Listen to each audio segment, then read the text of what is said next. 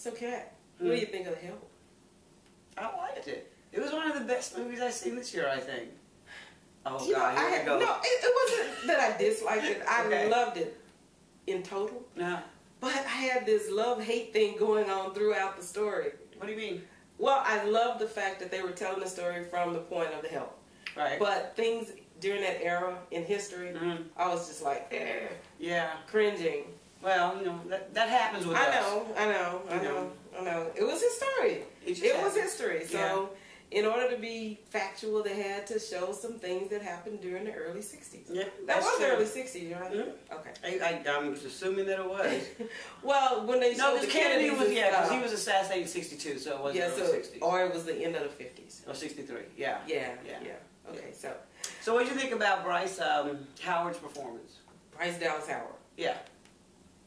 You know what? I, I really don't want to say a whole lot about it because I mean, even the trailer lets people know that she was something else. Right. I could have strangled that woman. I know, right? she didn't have nothing else to do. I could have strangled her.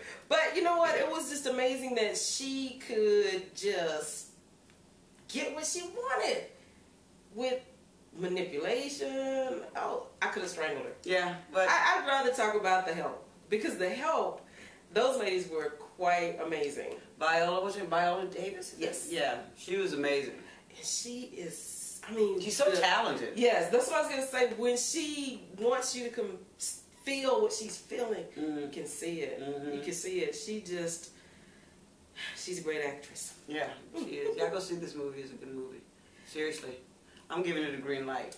I have no choice but to give it a green light. I'm gonna go a little deeper in the write up, but Yeah, I am too. Yeah. Because I wanted to say something about the director, who I had no clue who he was. really, I didn't. I didn't either. No, I looked him up and I still had no clue who he was. So you're gonna go read the book?